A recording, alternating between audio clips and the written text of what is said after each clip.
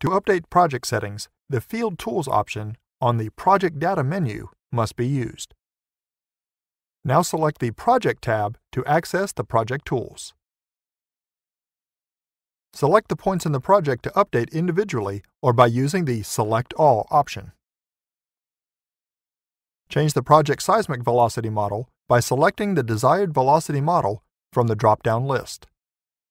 Enter a new project resistivity value in the provided field.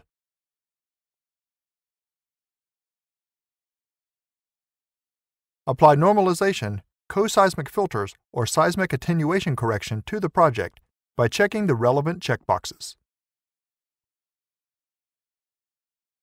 To apply the change to the relevant project setting, select the corresponding setting Update option.